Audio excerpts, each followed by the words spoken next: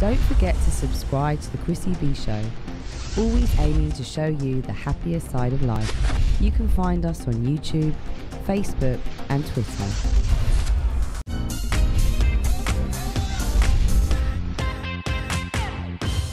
Welcome back. Now, before we speak to my next guest, Ryan, let's learn how to cook a traditional pilau rice with Mridula Baljekar.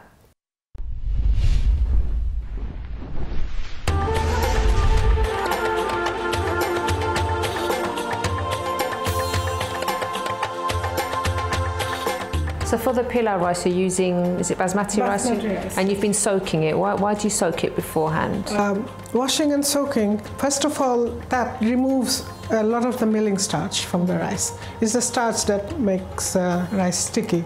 So you removed a lot of it by washing. Then soaking also removes a lot of it. And also it makes the grains softer, rice cooks quicker, and the grains also become fluffy if you soak. Now we've soaked it, so I'm now mm. going to drain the rice.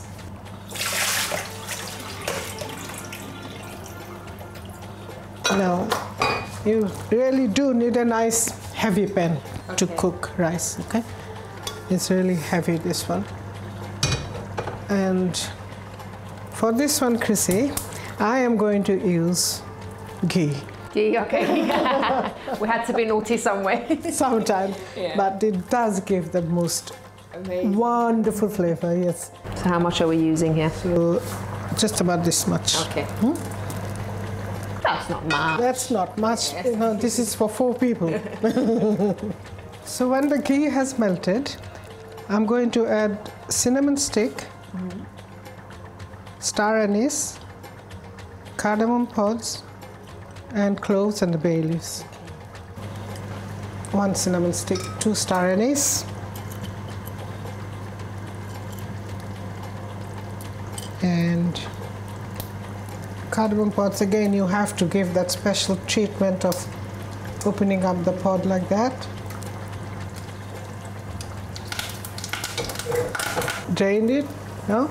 Now goes in there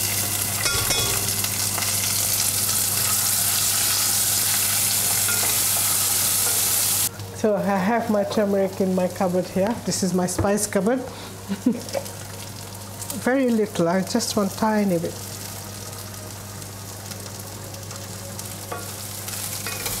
So I'm just going to put in 16 fluid ounces of warm water to that. Okay, put your water in. This is again warm water from the tap. So now see it's boiling. I'm going to turn the heat right down as low as it will go. Lid on, make sure there's it's a very tightly fitted lid. And here is my timer. I'm going to time it for eight minutes. Eight minutes exactly.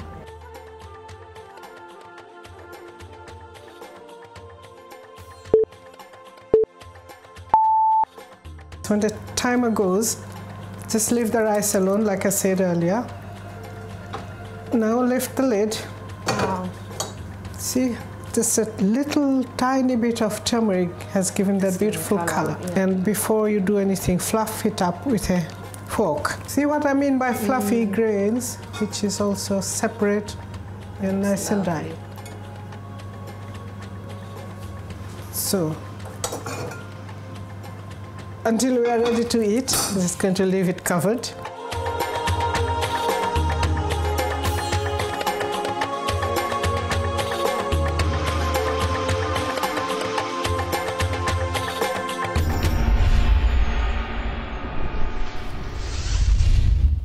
Yummy. Thank you very much, Mujula, for making us extra hungry.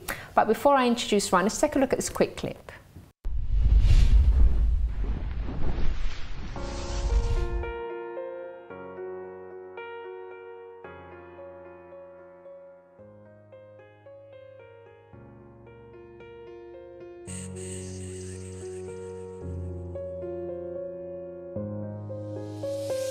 I've been there,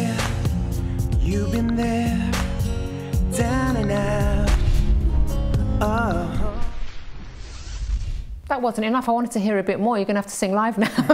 How are you, Ryan? I'm good, thank you very much, Chrissy. Thank you so much for coming on the show today because you've got something very, very important to speak to us about.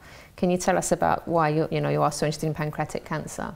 Um, well, I lost my mum to pancreatic cancer in 2012, and it was obviously a massive shock to the system. She went in for an operation, and the day she was due to come home, she started with, obviously with pain, and they sent her down for an urgent CT, scan, mm-hmm. and they found that she had pancreatic cancer, and three months later she died at home. Three months. Wow. Yeah.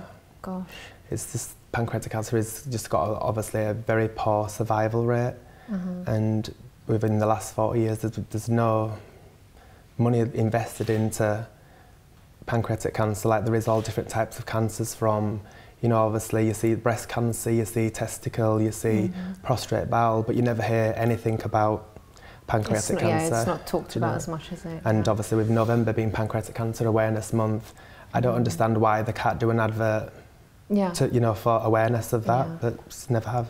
Okay. And obviously, it was a terrible time for you and the family. But how you've also done something very positive on the back of all of that, haven't you? I have indeed, yes.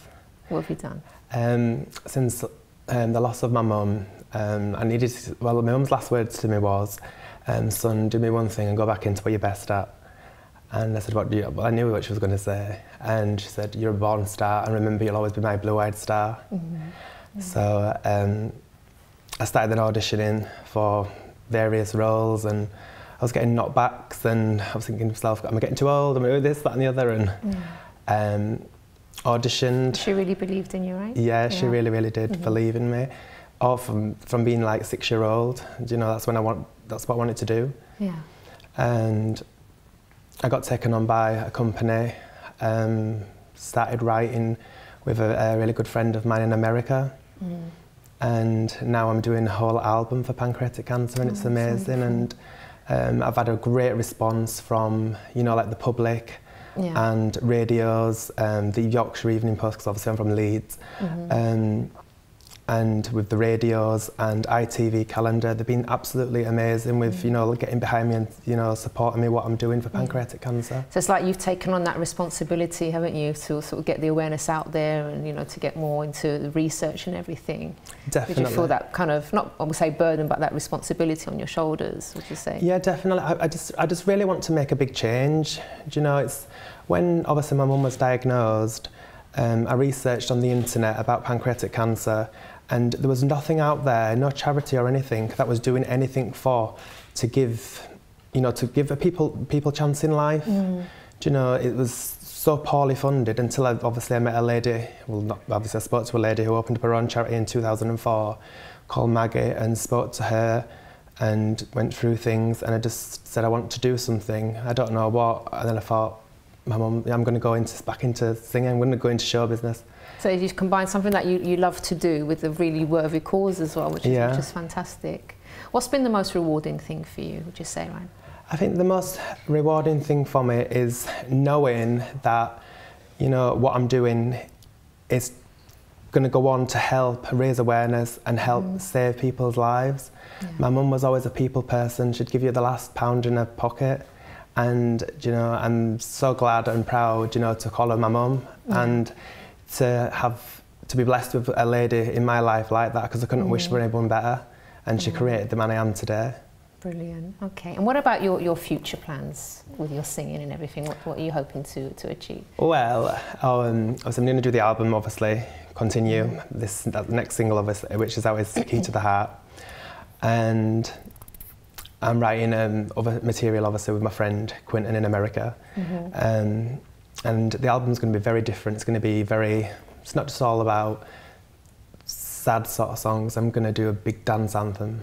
Oh, I'm going it's to do something completely different Yeah. for me. And obviously, the album will be released um, for Pancreatic Cancer Awareness Month in November. Okay. Um, and then after that, I will continue using my talent because I don't just do singing, I do all sorts of things. Yeah. From presenting, singing, do everything. Oh. you and it, I'll turn me onto it. That's lovely.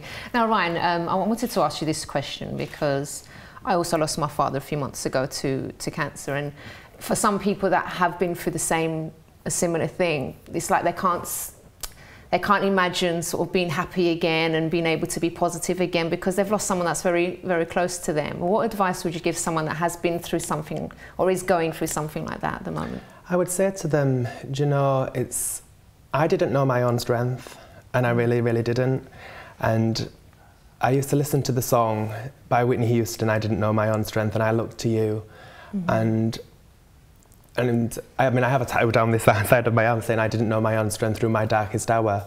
And yeah. to everyone out there, you know, who's going through any type of cancer, pancreatic or anything, or losing up, lost a loved one, or the grieving, or anything, mm. you know, just you believe in yourself, and you know, you can you can use your inner strength that you don't even know you've got, yeah. and you know, go forward. And I never ever thought, literally, my mum wasn't just my mum; she was my best friend, my whole world. Mm-hmm. And for me to be sat here today talking to you, it, in my world, it's a miracle. Brilliant. It Thank really you is. so much.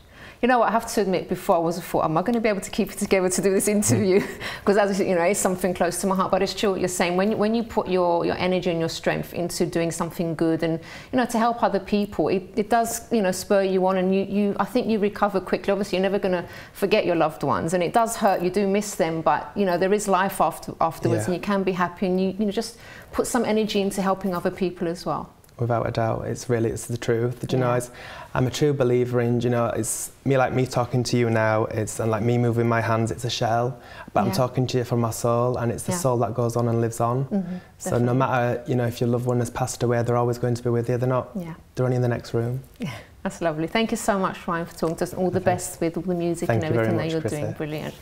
Okay, so do stay tuned because up next we have British Belgian girl group Deltamore who'll be performing for us and I'll also be answering a question from one of you guys at home, so do join us after this.